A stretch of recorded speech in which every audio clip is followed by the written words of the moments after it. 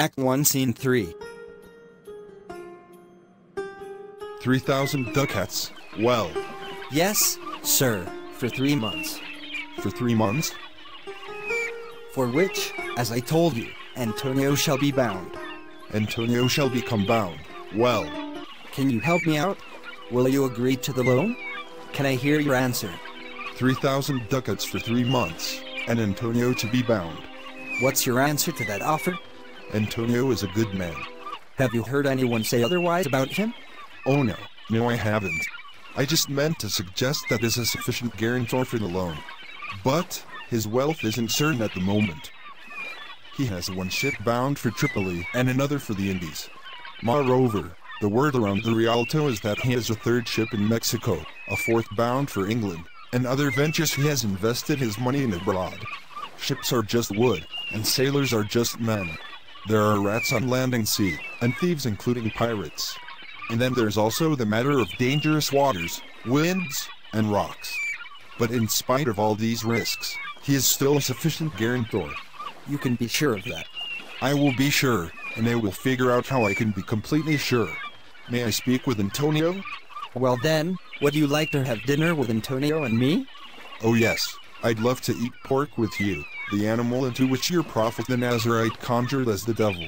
I will buy and sell with you, talk with you, walk with you, and so forth, but I will neither eat, nor drink, nor pray with you. What's the news on the Rialto? Who is the man coming here? This is Mr. Antonio. He looks like someone who wants to take my money, but then ask me for a favor. I hate him because he is a Christian, but I hate him even more because he lends out money without charging interest, which forces me to lower the interest rates that I loan at. If I get the better of him just once, I will satisfy my old grudge against him. He hates us Jews, and he speaks badly of me, my bargains, and my hard-won money in the company of other merchants, talking about interest. May my Jewish tribe be cursed if I forgive him. Hey Shylock, are you listening? I am thinking about how much money I have right now, and as best as I can remember, I can't raise the gross sum of 3,000 ducats right now. But that doesn't matter. Tubal, a wealthy Jew of my tribe, will supply the rest of the money. But wait, how many months do you want the money for? Hello, Antonio. We were just talking about you. Shylock, I normally don't lend or borrow money with interest, but in order to help my needy friend, I'll break my custom. Does he know how much money you want yet? Yes, yes, 3,000 ducats. And for three months. I had forgotten the three months you told me. Well then, you'll be the guarantor on behalf of Bassanio, let's see. But listen, I thought you said you don't lend or borrow money with interest. I never do. When Jacob looked after his uncle Laban's sheep, this is the Jacob who was descended from our holy ancestor Abram, and his wise mother made him his father's heir, so that he was the third to possess God's promise. And what about him? Did he charge interest? No, he didn't. He didn't exactly charge interest, as you would say. But listen to what Jacob did do. When he and Laban agreed that all the streaked and spotted sheep would be his, it was the end of autumn, and so the sheep were starting to mate. And when the woolly sheep were starting to couple off together to breed, the skillful shepherd Jacob put some dappled sticks in front of the ewes while they were conceiving. When they gave birth, they produced streaked and spotted lambs, and those became Jacob's. Jacob became very prosperous in this way, and he was blessed. Profit is a blessing, if it is not obtained by stealing. But that was something that wasn't in Jacob's power to bring about. It happened through the hand of God. Did you tell this story to imply that it is good to charge interest? Is your gold and silver like a bunch of ewes and rams? Maybe I make the money multiply as fast as sheep. But listen, Antonio, Take note, Bassanio, even the devil can quote the Bible for his own purpose. An evil soul quoting holy words is like a villain who pretends to be good, a good looking apple with a rotten core. What a good appearance falsehood can have. 3,000 ducats, that's a good round number. Three months out of the 12 that make up the year, then. Let me see the rate. Well, Shylock, will we be in your debt? Antonio, many times you have criticized me about my money and habit of charging interest in the Rialto. I have endured it all with patience and a shrug, because we Jews are known for our ability to endure.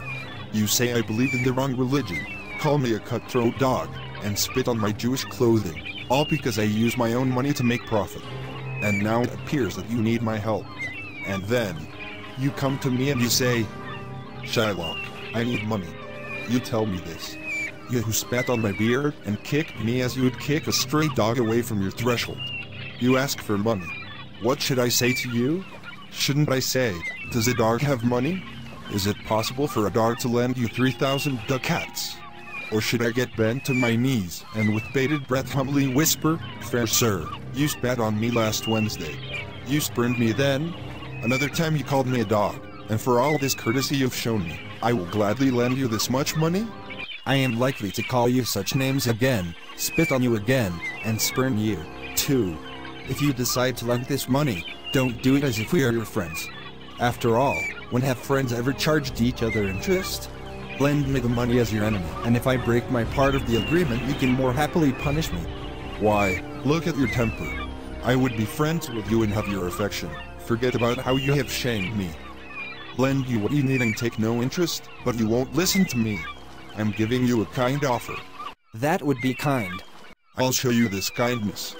Go with me to a notary and sign an agreement. If you do not repay me the agreed amount of money on the agreed upon day and place, you will forfeit to me one pound of your fair flesh, to be cut off from whatever part of your body I choose.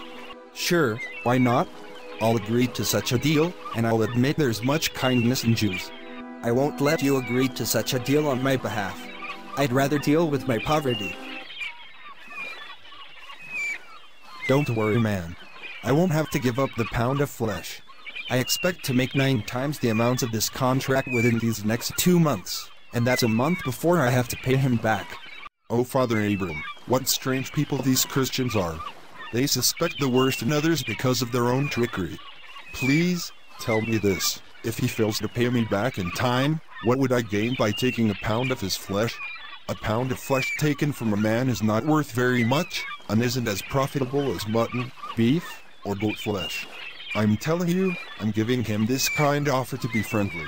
If you'll accept the offer, good. If not, goodbye. And for this kindness I show you, I ask you not to think poorly of me. Yes, Shylock, I will enter into this contract. Then meet me right away at the notary's office. Explain to him this happy agreement, and I will go immediately to gather up the ducats from my house, which I've left guarded by a careless clown.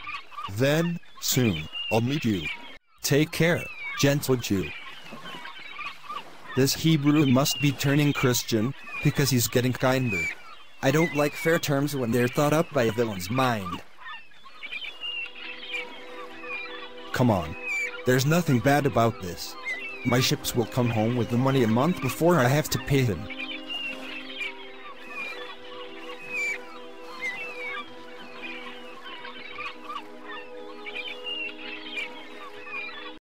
If you enjoyed the video, please make sure to hit the like button and subscribe to our channel and press the bell icon.